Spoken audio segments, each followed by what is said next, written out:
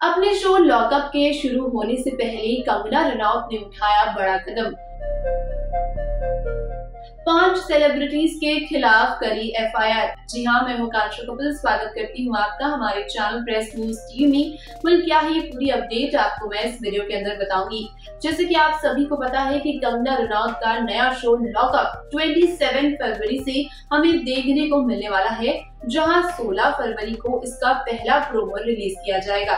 जी हाँ अब इसके पहले प्रोमो के रिलीज़ होने से पहले एक बहुत बड़ी खबर सामने आ रही है, जहाँ सोशल मीडिया पर एक पोस्ट जो है वो काफ़ी ज़्यादा वायरल हो रहा है, जिसमें ऐसा कहा जा रहा है कि कंगना रनौत जो है, उन्होंने पाँच सेलिब्रिटीज के खिलाफ एफआईआर दर्ज कराई है।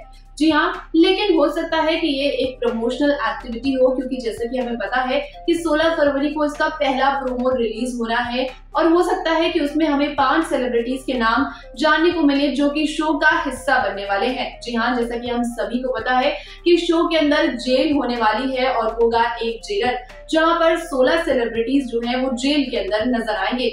वेल आपका क्या कहना है? इतनी बड़ी खबर को लेकर हमें कॉमेंट सेक्शन में ज़रूर बताइएगा। और इसी तरह की लेटेस्ट खबरों के लिए हमारे चैनल प्रेस न्यूज़ टीवी को सब्सक्राइब करना ना भूलें।